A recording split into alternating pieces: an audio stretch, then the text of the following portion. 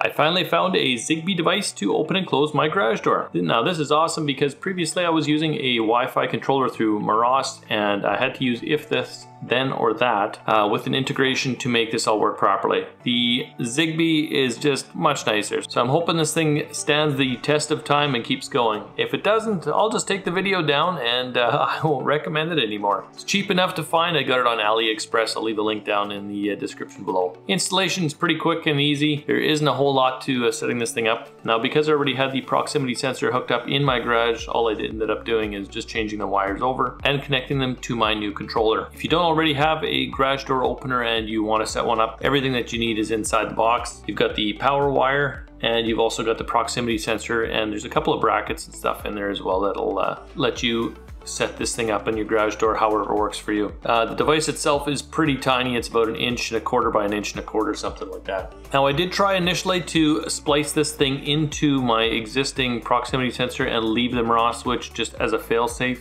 Uh, don't do that because uh, I guess the proximity sensor, it fed something back through the Zigbee switch and uh, it gave me a little bit of troubleshooting that I had to do, but I figured it out finally uh, and just connected the proxy switch directly to the new Zigbee switch and that solved my problems immediately. So the first thing you're going to need to do is go over to GitHub and grab the device driver for that. Uh, the links in, in, the description below and uh, install that onto your Hubitat. To install the device driver, there's really not a whole lot to this.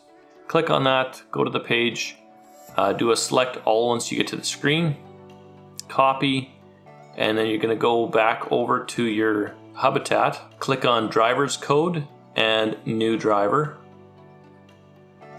and just paste that code there and click on save. This will let your Hubitat know how to communicate with that new Zigbee device.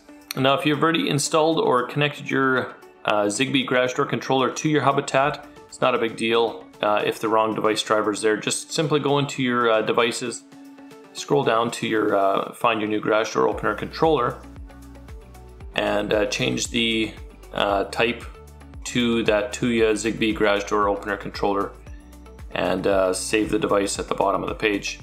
Once you've got that, then your uh, device should be working successfully with the new driver that we just installed. Alright, so once you've got the uh, proximity sensor connected and you've got your little device wired up, you're going to need to pair it with Hubitat. That's pretty easy to do, just go to uh, devices and once you're on devices then click on add a device and click on Zigbee and then start Zigbee pairing. It shouldn't take more than a couple of seconds and your device is going to be populated on the top. Uh, name it whatever you want, set that up, and uh, you can assign it to a room as well here if you like.